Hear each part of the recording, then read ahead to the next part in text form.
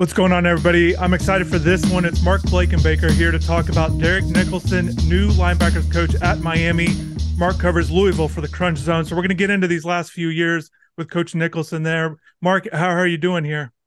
I'm doing well. Thanks for having me on, Chris. I appreciate it. How's uh, Miami treating you? Yeah, Miami's great and just a lot of buzz right now in the offseason, which is what the Miami fan base wants after this five and seven disappointing year under Mario Cristobal that first year. So changes are coming, new coaches, new players, over 30 uh, new players in the program. We'll see how everything turns out. The coach stuff I, I find very interesting. I enjoy talking to people like yourself that know about these coaches. So let's get right into it with Coach Nicholson. I, and I know the fan base really enjoys these too, Mark. So I'm, I'm glad you're doing this. Coach Nicholson was at Louisville the last three years there.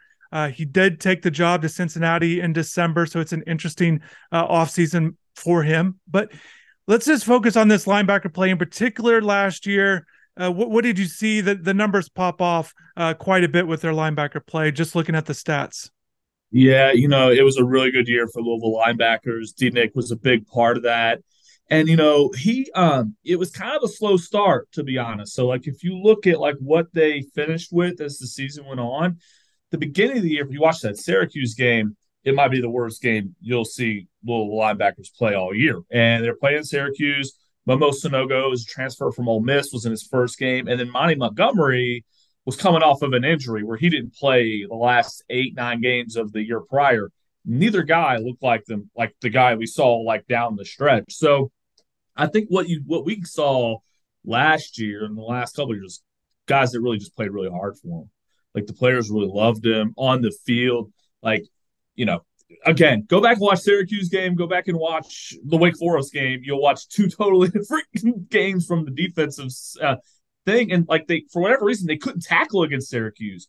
And then late in the year, those guys getting a couple games under the belt, they started really hitting, sticking, dropping guys to the ground. And that's what you want to see Unfortunately for us, it cost us, you know, a game or two early. Uh, but I think if you have him in your program for a couple of years, have some guys that are familiar with your system, not injured, that'll probably help a great deal because they, they really did play well down the stretch. And and obviously Miami's looking for better play from their linebacker spot, so they're hoping to get some uh, a different look here with, with, different coaching and things like that. You know, with with Sino, Sanogo and Montgomery, the, they led the team in tackles last year. I'm curious about what Nicholson's uh, influence with this might be with the tackles for loss and the sacks. Both guys uh, combined for over 20 tackles for loss. You don't always see that from the linebacker spot, and, and over 10 sacks. So, so great there. Obviously, defensive scheme plays into it. But what, what can you say about Coach Nicholson's impact or influence on those particular uh, statistical marks?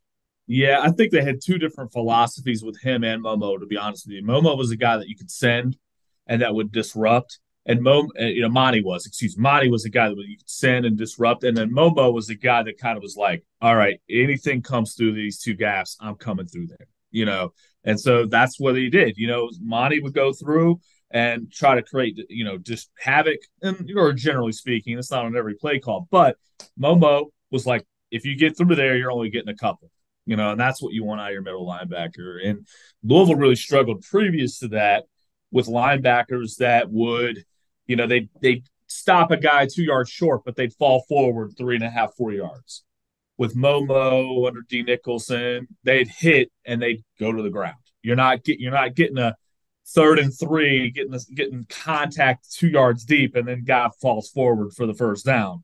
What you were getting was guys that were hitting and then stopping you know, if we had more offense, it would have made a difference. But the defense was not the problem last year for Louisville football. That's for sure. I I am curious though, like what happened with Charlie Strong because we're we're pretty big fans of him up here, as you might remember. We were we had it rolling, uh, and and why why was he uh, not retained? Do you think? Yeah, you know, it, it, was interesting. You know, Miami's overall, you know, just coaches on both sides of the ball essentially became uh, up for grabs in the sense that underperformed. You know, the, the numbers didn't look good all around the board. You know what, and really all position units. You know, there was some reason or another why they only won five games, and the numbers just don't look good. And as far as Charlie, as far as Charlie goes, and certainly we all remember Charlie at Louisville as well. And I remember doing this a year ago. You know, uh, with the Louisville Reporter about about Charlie. So it just didn't work out, and I, I think that's just the way it looked. It, it you know promoting from within and i know there's controversy of why you didn't get that you know, he had the title of defensive coordinator, but he didn't get the interview to be the next coordinator. That certainly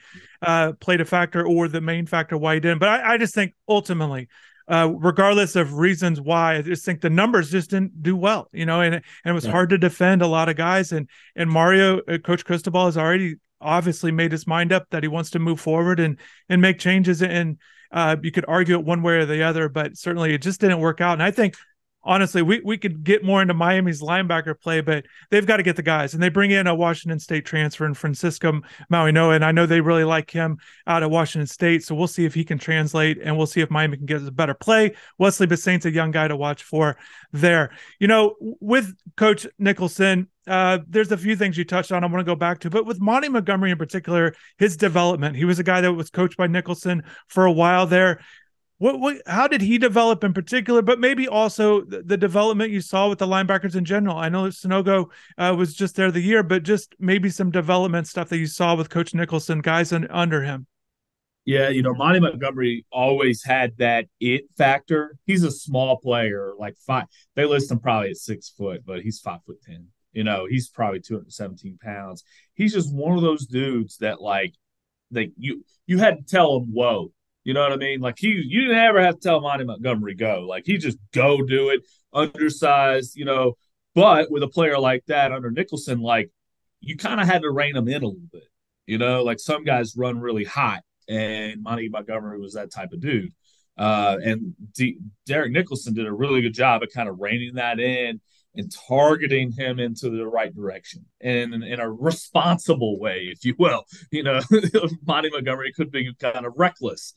Uh, Momo, I think what you saw, you know, D Nick saw, hey man, I got a veteran player. Uh, we needed this guy coming into the portal. They had a lot of young linebackers. Nobody really of the size of Momo. They needed a dude like that. And I think what you saw with him is to say, hey, what do you do well? Okay, you play two gaps I'm going to let you go. I'm just going to let you turn loose. I don't necessarily think Nicholson did a whole lot except for identifying what he did well and just trying to point out a few things that he had to clean up, to be honest with you. I think it was like, all right, I know this is what you are. I know this is what you do. Go do that. And sometimes that's the best thing a coach can do. It's just know what a guy's capable of and what he does best and just design everything around him. And I think that's what happened. Absolutely, an excellent point with, with, coaches in general. There's a lot of different things that go into coaching. You said earlier that you felt like players wanted to play for Coach Nicholson. Why? Why do you say that? Do you have examples uh, of maybe what was said from the players, or why do you think it was uh, that connection there? Because that's certainly uh, the the biggest part, essentially, for coaching is getting the most out of the players and essentially getting them to play hard for you. Yeah, you hear that. I mean, D Nick didn't do a lot of media with us, but we heard from the players a lot. Hey uh, that's my guy. I want to play for him. If he goes, I go, you know, type of thing. And then on the recruiting trail, uh, especially down there in Miami, I mean, you all probably are familiar with some of the prospects, Derek Nicholson being in their homes and things like that. He just has a gravitational pull, and I don't think it's like out loud. It, you know, like some recruiters like are Lane Kiffin, and they want to be, you know, like photo, photo, you know, tweet, all this stuff. You're not going to get that out of him, but you have Mario Cristobal, who will do that for free already, you know. And you know, Derek Nicholson's just a, he's a relationship guy. You know, guys like playing for him, and he they know that he cares about them. You know, and I, am a big fan. You know, I mean, I hated losing him to Cincinnati up there, and you know, with Scott Satterfield. I think most most people were happy to see like Satterfield go, but there were pieces that like Nicholson that you're like, ah, dang, man, you really hate to lose a guy like that because he's just a valuable piece. And uh, you know, I just think it's the relationship that he had. Got you know, pe- when when players know that a coach cares about them, you get twenty percent more than he would have otherwise. And and and Nicholson gets that. You know, going back to on-field stuff w- with the linebacker play, and, and, there's a lot that goes into it, especially now with with defending the yeah. pass uh, and all that. But let, us just the, the the the main number one responsibility is tackling for a linebacker. How would you? I know you touched on earlier this year. It was touchy at, at times, but overall, the three years there, and again, just kind of looking with Coach Nicholson, he was a GA at Louisville as well back in 2014. He kind of got his mark, uh, started his career started there. Uh, but tackling in general at the linebacker spot, how would you evaluate it? And essentially, were there things that Nicholson either helped with or uh, essentially made made points of emphasis with that? Yeah, I think I think so, and I think it really came down to like the awareness of the defense, getting Monty Montgomery healthy, and like getting that injury thing out of his head. I think was a big deal, and then Momo just knowing where he's doing, you know, like that that was a big thing because the tackling from the start of the year, seriously, go back and watch Louisville against Syracuse. Is one of the worst tackling you've ever seen in your life, and then go back to you know basically the Pittsburgh game forward they were lights out, you know, tackling. I mean, with some few exceptions. I mean, we lost the Florida State game, Boston College game, and the Syracuse game because tackling, you know, from there, it really was good. And, you know, I wish we could play, you know, four preseason games because I'd like to know what our season looked like, you know, because of that. So I, I'd say Nicholson played a big part of it. I think some of it was just awareness. You know, you're not second guessing what you're doing. Monty Montgomery getting not not being injured or sort of getting that out of his head. But but Nicholson placed a priority on hitting, you know, with your head up, and you could see it a lot. Like when guys would tackle, there wasn't. Well, we had a problem with our safeties. You want to talk about our safety coach? That's another conversation. Where guys dipping their head down. You know, guys, Momo and Monty tackle with the face up, and they're also snatching at the ball. If you look at what Monty Montgomery's uh, fumble recovery, fumble force fumbles, he would hit the quarterback, the ball would, you know, he, his other arms coming down at the ball.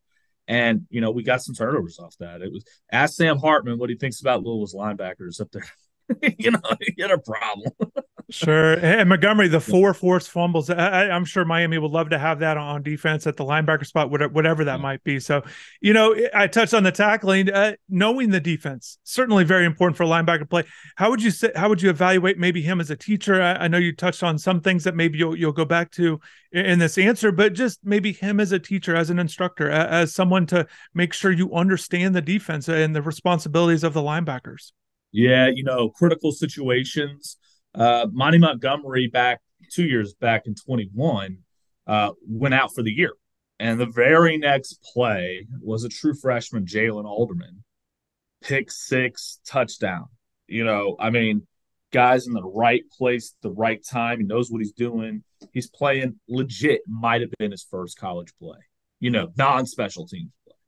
And he's just right there, wins the game. Like Louisville's about to lose to Central Florida because it's deep in the fourth quarter. Dillon Gabriel, who transferred to Oklahoma a year later, he's got the ball in his hands, and you know the ball goes up. Jalen Alderman's dropping, and then boom, game over. That's that's a good example of in game three how quickly young players sort of like grasp in an emergency type situation. And in football, you always find yourself in an emergency situation, especially during a game. The guys were ready. And Alderman's a young, still here, young, undersized player, but he was pressed into action and won Louisville football game from the linebacker position. So that's probably the most uh, aggressive one that I'll I'll show you. But I mean, we've had other guys step in. Uh, you know, Dorian Jones, who just went to Cincinnati. like, uh, I wonder if he regrets that decision. You know, because Nicholson just left. Uh, but like he was pressed into action a lot, especially if Momo wasn't available. Dorian Jones was in there a lot as like run thumping kind of dude. Uh, and guys just seemed to be ready. You know, they really did. And Coach Nicholson, you know, tackling, we're talking about tackling, knowledge of the game. You know, as a player at Florida State, led Florida State in tackles himself uh, his last two seasons there in, in Tallahassee. You touched on recruiting. are there some stories with recruiting that you could say um, that you know about him as a recruiter? Obviously, Miami fans are well aware of Stanquan Clark, was his primary. Yeah. Uh, you know, Coach Nicholson was his primary recruiter. Goes to Louisville there. Uh, you know, a local guy. But anything with recruiting with Coach Nicholson that stands out? You know, we could always see him in the high level guys. Uh, you know, living rooms. That's the thing. Like Talked about he's not really a loud guy. You're probably not going to hear a lot from him. You're probably going to see him a lot more than you're going to hear from him. Uh, but yeah, Stanquan Clark, as soon as I knew Nicholson was going to Cincinnati, like, we got no shot at Rueben Bain. You know, I knew it. You know, I knew it. And Rueben Bain is a guy that, you know, Stanquan's teammate, as you guys know. And I'm like, Rueben Bain's amazing. If I can get him and Stanquan Clark, I mean, we can build a defense around that, you know, absolutely. So I think Rueben Bain's a baller, uh, and to have that level of guy you know, thinking about Louisville should tell you where you know Derek Nicholson is as a recruiter. You know, not like we've done well in recruiting, but we're going into Miami's backyard. You know, getting Stanquan Clark and, and a high consideration from Rueben Bain. The only people we've seen do that with high level player are the guys Nicholson's replacing. You know, and Charlie Strong, and that's over a decade ago. So you know, kind of run Charlie went on when he was younger maybe you know maybe you get maybe you replace Charlie Strong with a younger Charlie Strong. We'll find out. Yeah, we'll definitely yeah. find out. Mark, I, appreciate. I really enjoyed this. Uh, I kind of hyped it up at the beginning that the the fans like these. Uh, you definitely delivered, so I appreciate you taking the time to do this, and hopefully talk to you soon. Yeah, well, we'll see you week before Thanksgiving, and uh, we'll be down there, so we'll come see you.